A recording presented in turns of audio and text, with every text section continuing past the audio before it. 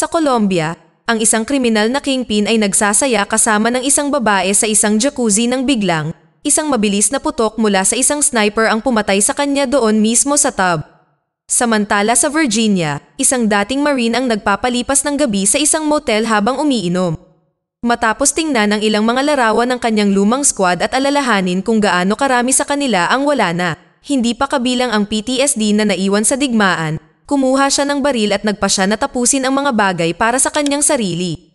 Pagkaraan ng mga araw, isang libing ang idinaos bilang karangalan sa kanyang kamatayan.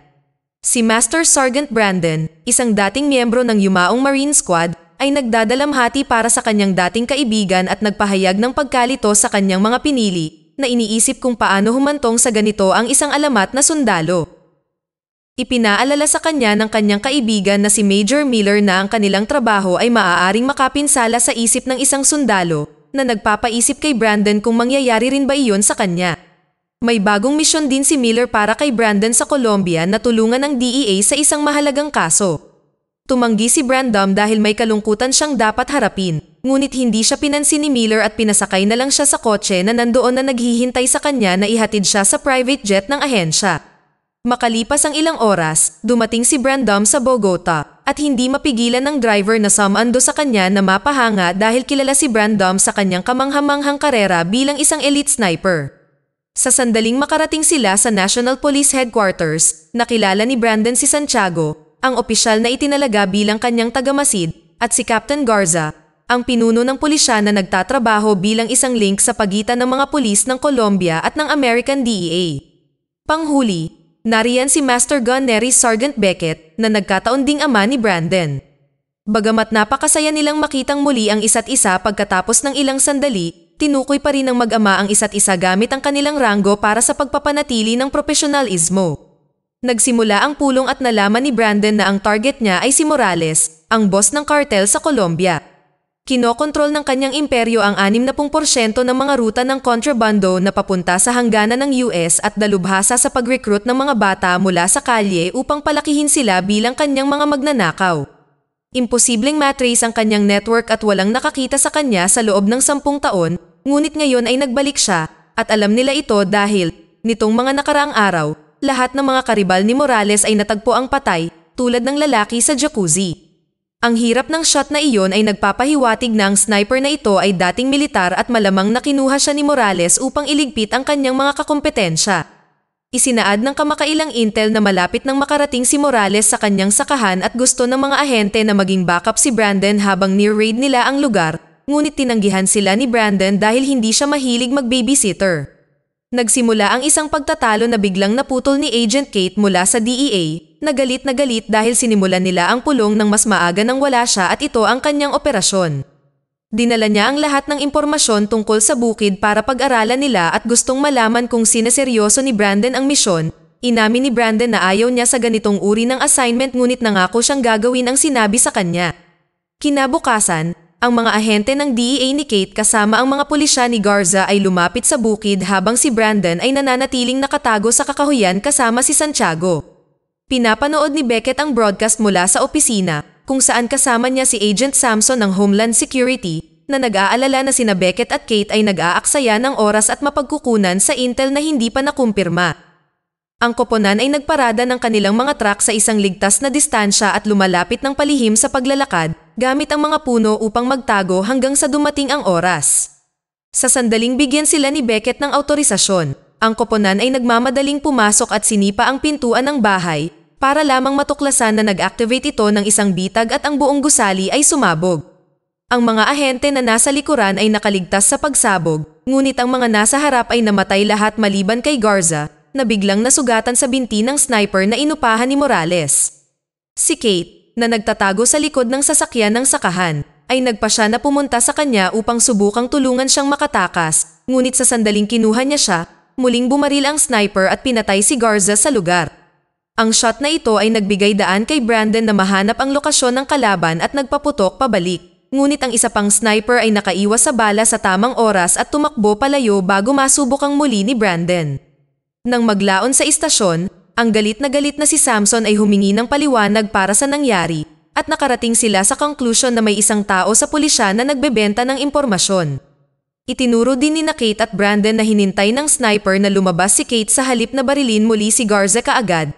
Ibig sabihin, siya ang kanyang target sa lahat ng oras at ang pagbaril sa binti ni Garza ay naging bitag. Nabigo lang ang pangalawang shot dahil aksidenteng nailagay ni Kate si Garza sa pagitan niya at ng sniper. Gusto ni Samson na kanselahin ang buong operasyon ngunit tumanggi si Kate na sumuko ng walang tamang laban at ang kanilang pagtatalo ay nagpatuloy ng napakatagal kaya pinutol ito ni Brandon upang gumawa ng DEL, ang koponan ay makakakuha ng 48 oras upang subaybayan ang kaaway at kung sila ay mabigo, tatanggapin nila ang utos at sila ay uuwi. Pagkatapos ng pagpupulong, sinabi ni Beckett kay Brandon na malamang na alam ng ibang sniper kung sino siya pagkatapos ng pagbaril na iyon, kaya mas mabuting mag-ingat siya. Pagkatapos, pumunta si Brandon para pumunta sa kanyang kwarto sa DEA safe house sa Las Cruces, kung saan siya tutuloy habang nagtatrabaho siya dito sa Colombia.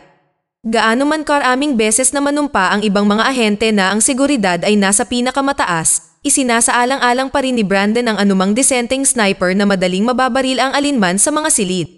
Samantala, ang sniper na inupahan ni Morales, na kilala bilang El Diablo, ay nagsasaya kasama ang kanyang kasintahan nang bigla siyang naputol ng isang tawag na nagpaalam sa kanya na sina Kate at Brandon ay nananatili sa DEA safe house. Nabigo si El Diablo na patayin sila ng isang beses, kaya ito na ang kanyang pagkakataon para ayusin ang kanyang pagkakamali. Back to Brandon, nagbabasa siya ng isang artikulo online tungkol sa pagkamatay ng kanyang kaibigan na nagbanggit ng krisis sa sandatahang lakas dahil karamihan sa mga sundalo ay nagtatapos sa kanilang serbisyo na may iba't ibang sakit sa pag-iisip na kanilang pinapasan. Bigla siyang pinutol ni Kate upang pasalamatan siya para sa kanyang suporta sa panahon ng pulong, pagkatapos ay inamin na hindi pa siya namatayan ng isang lalaki sa ilalim ng kanyang pamumuno at nagpupumilit na harapin ito. Naisip din niya na may kakaiba sa paraan ng pagbaril kay Garza at sumang-ayon si Brandon, ang shot na nagawa ng sniper ay imposibleng gawin ayon sa mga batas ng physics. Ipinaliwanag ni Kate na hindi niya gusto ang sniper, kundi gusto niya si Morales, ngunit ipinunto ni Brandon na ang pagiging makitid niyang ito ay naging sanhi ng pagkamatay ng maraming tao. Dahil sa galit, nagmamadaling lumabas ng silid si Kate na lumuluha pagkapasok niya sa elevator dahil naging malapit na kaibigan niya si Garza at nakonsensya siya sa pagkamatay nito. Habang patuloy na nagsasaliksik si Brandon ng mga bagong uri ng bala at sinusuri ang guard shift ni Santiago gamit ang isang radyo, nagpunta si Kate upang uminom sa isang sikat na bar kung saan kailangan niyang maging marahas sa isang harasser na sinusubukan siyang hawakan. Pagkatapos, nakipagkita siya kay Carlos, isang pari na minamahal ng komunidad para sa kanyang trabaho sa mga taong nangangailangan. Iniisip ni Carlos na hindi mananalo si Kate laban sa isang mapanganib na tao tulad ni Morales at dapat na siyang huminto. Ngunit tumanggi pa rin si Kate na sumuko, kaya nagpa siya si Carlos na ibahagi ang maliit na impormasyon na mayroon siya. Ang sniper ay kilala bilang El Diablo at dahil siya ay kinuha ni Morales, dapat niyang malaman ang lokasyon ng kanyang hideout. Bago umalis, nangako si Carlos na kontaken si Karen kung may nalalaman pa siya. Pagbalik sa safe house, apurahang tinawagan ni Santiago si Brandon nang sa wakas ay may napansin siyang mapanganib, kaya't sumugod si Brandon sa bubong gamit ang kanyang sariling sandata. Tama si Santiago, may sniper na nakatago sa di kalayuan, at ngayon ay matyagang naghihintay sina Brandon at El Diablo kung sino ang unang babaril. Si Brandon ang unang nagpaputok ngunit mabilis na naiwasan ni El Diablo ang bala bago bumaril pabalik. Pagkatapos tumalon sa pag-iwas at nagtago sa likod ng isang pader, nagpa siya si Brandon na manatili doon ng ilang sandali, pinapaniwala niya si El Diablo na patay na siya. Kinabukasan, kinuha ng team ang bala at nakipag-ugnayan kay Miller sa isang video call para makuha ang kanyang kadalubhasaan sa paksa. Ito ay isang smart bullet na may kasamang laser-guided na teknolohiya na nagbibigay daan na kontrolin ang pagtama nito. May posibilidad na ang El Diablo ay hindi isang dating hukbo pagkatapos ng lahat o kahit na hindi isang mahusay na sniper, ang mga bala ang gumagawa ng trabaho para sa kanya. Itinuro din ni Miller na ang safe house na ito ay hindi masyadong ligtas na nagpapatunay sa damdamin ni Brandon. Tinapos ni Samson ang pagpupulong matapos mangakong makakahanap ng disenteng safe house sa pamamagitan ng pakikipag-ugnayan sa CIA. Samantala, si Morales ay nasa kanyang ligtas na bahay na nakikipaglaro sa kanyang mga bata, bagamat tinuturuan niya sila na ipaglaban kung ano ang sa kanila nang hindi natatakot sa paggamit ng isang napakahirap na uri ng pananakot na nagiging sanhi para matakot sila sa kanya nang higit pa kaysa sa aktwal na paggalang sa kanya. Pagkatapos, pumunta si Morales sa kanyang opisina na nagnanais na tawagan si El Diablo, ngunit nakita niya na naroon na siya sa kanyang upuan. Gusto ni El Diablo na mabayaran ang lahat ng mga kakumpetensyang napatay niya. Ngunit tumanggi si Morales dahil hindi pa niya napatay si Kate o Brandon para tapusin ang trabaho at pinaalis si El Diablo sa kanyang bahay na sinasabing hindi niya talaga siya kailangan. Kinaumagahan, pupunta si na Kate at Brandon sa isang bagong safe house sakay ng kotse nang makatanggap si Kate ng tawag mula kay Carlos na natuklasang may kasintahan si El Diablo. Tinext niya kay Kate ang kanyang address ngunit pinakiusapan din siyang mag-ingat dahil kontrolado ng mga tauhan ni Morales ang kapitbahayan. Matapos ibaba ang tawag, sinabi ni Kate kay Brandon na napagtanto niyang hindi siya interesado sa mismong operasyon, gusto lang niyang hanapin ang sniper dahil mas mahusay ang kanyang mga bala kaysa sa kanyang kakayahan. Inamin ni Brandon na totoo, pero bago pa niya masabi, nasagasaan ng truck ang sasakyan. Isang grupo ng mga lalaking nagtatrabaho para kay Morales ang lumabas sa truck at pinagbabaril sila, kaya bumaril pabalik si Brandon at ang mga pulis na nag-escort sa kanila habang si Kate ay tumatakbo para humanap ng mapagtataguan. Lahat ng mga kawatan ni Morales ay napatay, ngunit ang nakakalungkot ay si Santiago din. Napansin ni Brandon na wala na si Kate at natuklasan niyang hindi niya sinasadyang nahulog ang kanyang telepono sa upuan ng kotse. Ipinapakita rin sa text sa screen ang address na ipinadala ni Carlos. Sa sandaling dumating siya sa makulimlim na lugar na ito, masasabi ni Kate na maraming lalaki ang nagbabantay sa kanya. Kumatok siya sa pinto sa tamang address at nakilala ang kasintahan ni El Diablo na si Maria na agad na sinubukang isara ang pinto nang ipakita ni Kate ang kanyang badge. Sinubukan ni Kate na pigilan siya, ngunit nakuha nito ang atensyon ng lahat ng mga magnanakaw na nakapaligid sa kanya ngayon at itinulak siya ni Maria pabalik upang mahuli ng mga tauhan ni Morales si Kate. Nagsimula ang isang away sa pagitan ni Kate at ng mga lalaki at habang tumetama ang ilang suntok niya, nadaig pa rin siya sa kapangyarihan at naipit sa dingding. Nang magsimulang pumila ang mga tulisan upang samantalahin siya, nagpakita si Brandon at sinimulan silang barilin. Karamihan sa kanila ay namatay, bagaman ang isa ay nakatakas sa isang ninakaw na motorcycle at si Karen ay nagawang hulihin ang isa sa kanila. Nang malapit na niya itong patumbahin, dumating si Maria na nagbabanta sa kanya ng baril. Sa kabutihang palad ay nasorpresa ni Brandon si Maria mula sa likuran at ang pagkagambala ay nagbigay daan kay Kate na disarmahan siya. Kinuha rin niya ang locket ni Maria sa kanyang leeg na may larawan niya at si El Diablo sa loob. Ipinadala ni Brandon ang larawan nito sa kanyang ama upang mahanap nila ito sa database na may software sa pagkilala sa mukha. Sinabi rin sa kanya ni Brandon na kanina lang sila ay tinambangan. Ibig sabihin ay may nag-e-espiya pa sa kanila. Hanggang sa malaman nila kung sino, magtatago sila ni Kate sa ibang lugar sa halip na sa assigned shelter nang hindi man lang sinasabi kay Beckett ang address. Sa istasyon, naging tensyon na do si Samson tungkol sa buong sitwasyong ito at sinubukang akusahan si Beckett na binibigyan ng labis na kapangyarihan ang kanyang anak sa operasyon, ngunit hindi siya pinapansin ni Beckett. Nagpa siya si Kate na dalhin si Brandom sa kanyang dating kapitbahayan upang maitago sila ni Carlos saglit. Hindi na nagulat ang pari na marinig na may mga espiya si Morales sa pulisya dahil kaibigan niya ang maraming makapangyarihang tao, hindi pa babanggitin ang lahat ng maliliit na kriminal na nakabantay sa kanya. Napagtanto ni Kate na ang pakikialam sa network ni Morales ay maaaring maging sanhi ng paglabas niya sa kanyang hideout at tinanggap ni Carlos na ibahagi ang ilang pangalan na alam niya. Sa mga sumunod na araw, maraming bangkay ang nagsimulang lumitaw sa buong bayan na kabilang sa iba't ibang lalaki na nagtatrabaho kay Morales kasama ang kanyang banker. Ang lahat ng ito ay kagagawa ni Brandon na pinapatay ang bawat pangalang maibigay ni Carlos. Tinawagan ni Miller si Beckett upang sabihin sa kanya na wala sa kontrol si Brandon, ngunit hindi alam ni Beckett kung paano mahahanap ang kanyang anak. Isang gabi, inalok ni Carlos si Brandon na mag-usap bilang magkaibigan at narinig niya ang tungkol sa Marine na namatay bago ito nagsimula. Si Brandon ay patuloy na nag-aalala tungkol sa parehong nangyayari sa kanya, kaya ipinaliwanag ni Carlos na ang tanging paraan upang maiwasan ang gayong kamatayan ay ang patawarin ng iyong sarili sa moral na pinsalang naidulot mo. Samantala, sa wakas ay umalis si Morales sa kanyang taguan, ngunit para lamang hanapin si El Diablo sa lugar ni Maria. Sawa na siyang mawalan ng mga tauhan, kaya binayaran niya si El Diablo ng lahat ng perang utang niya sa kanya sa isang bagsak at nangako ng higit pa kung mapipigilan niya si Brandon. Maya-maya, tinawagan ni na Samson at Beckett si Miller para i-update siya sa impormasyong nalaman nila tungkol kay El Diablo, Enrique ang tunay niyang pangalan, at isa siyang ex-sniper defense. Dumating siya sa Colombia mula sa Venezuela siyam na buwan nang nakalilipas, ngunit nawalan sila ng truck sa kanya pagkatapos niyang tumawid sa border. Nais ni Samson na alisin ni Miller sina Brandon at Kate sa operasyon, ngunit hindi sumasang-ayon si Miller, na itinuro na mas marami silang nagagawa para sa misyon ngayon kaysa sa iba. Samantala, binayaran ni El Diablo ang isang lalaki sa kapitbahayan upang sabihin sa kanya kung saan nagtatago sina Kate at Brandon, ito ay kung paano niya nalaman ang lahat tungkol kay Father Carlos.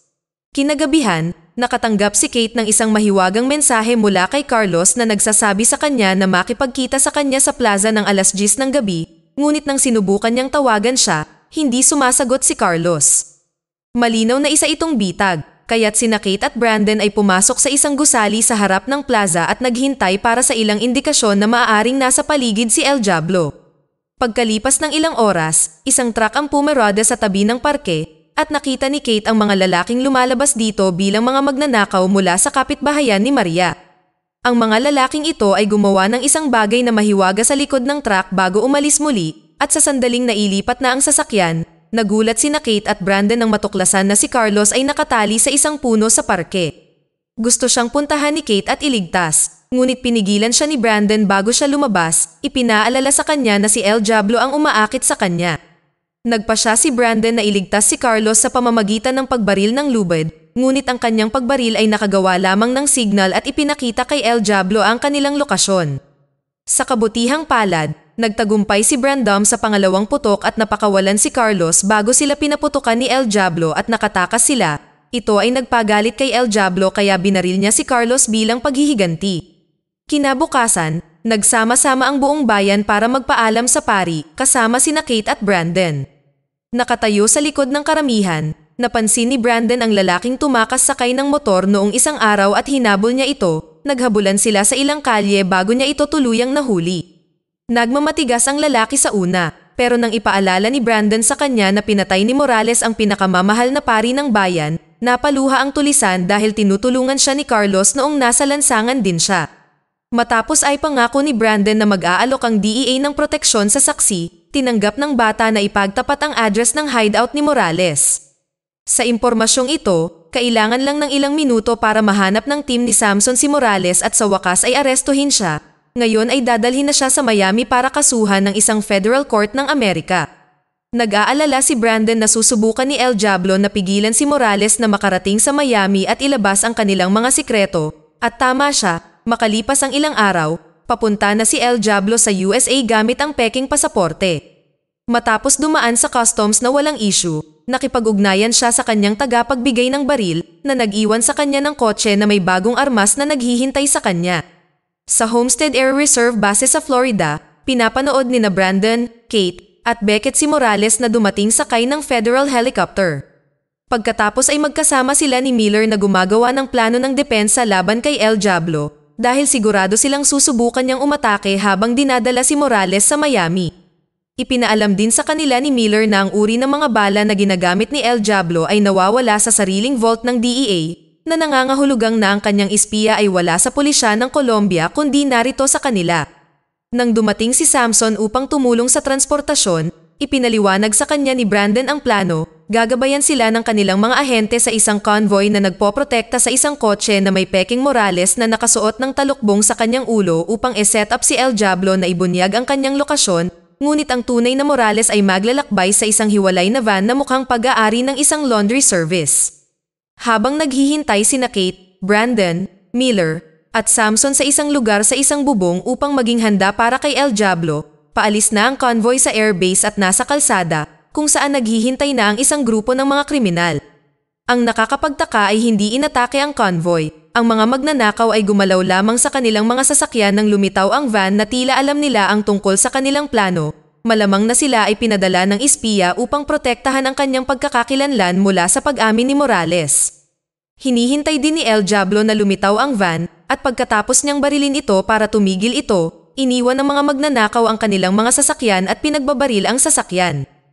Mahusay na pinatay ni Miller ang lahat ng mga taong ito at nang makitang wala silang magagawa, muling bumaril si El Diablo upang matiyak na patay na ang mga pasahero ng van. Sumabog ang van at ngayon ay alam na ni Brandon ang lokasyon ni El Diablo. Ilang segundo lang ang kailangan niya para puntiryahin ito at tuluyang siyang patayin. Ang convoy ay patuloy na patungo sa Miami, kung saan ipinahayag na ang lalaking nasa ilalim ng talukbong ay si Morales kung tutuusin at ang van ang naging tunay na decoy. Sa katunayan, ang van ay ganap na walang laman at ang koponan ay pinapagalaw ito gamit ang isang remote control. Sina Kate, Miller, at Brandon ay nag-on kay Samson na arestuhin siya dahil lumalabas na siya ang taong nagpapasa ng impormasyon kina Morales at El Diablo sa lahat ng oras na ito. Sinubukan itong itanggi ni Samson, ngunit nahak na ng IT team ni Miller ang kanyang telepono. Ngayon ay kailangan lang nilang hulihin siya sa akto dahil ang mga text message ay may mga peking pangalan at wala siyang mapatunayan. Dahil dito, sa wakas ay inamin ni Samson na ginagawa niya ito at ipinagtapat na nagtrabaho siya para kay Morales dahil naisip niya na ang Kingpin ang kanilang pinakamahusay na pagpipilian upang maiwasan ang isang atomic bomb. Hindi makapaniwala si Kate na napakaraming tao ang namatay dahil dito at sinuntok si Samson sa pangalan ni Garza at Carlos. Matapos arestuhin si Samson, bumalik si Miller sa Washington. Si Beckett ay nagkaroon ng sapat na aksyon na siguradong tatagal ng panghabang buhay at nagpasya na sa wakas ay oras na para sa kanyang pagretiro, na nagudyok sa kanya upang bigyan ang kanyang anak ng isang mainit na yakap bago magpaalam. Itinuro din niya na sina Brandon at Kate ay nakagawa ng isang mahusay na koponan at inamin ni Brandon ang paglalaro ng babysitting para sa DEA ay maaaring hindi isang masamang trabaho na dapat gawin pagkatapos ng lahat. Dito na nagtatapos ang kwento. Sana ay nagustuhan nyo. Mag-subscribe na kung hindi ka pa nakasubscribe. Pindutin na rin ang notification bell at like button upang matulungan ang channel and leave a comment down below. And as always, thank you for watching.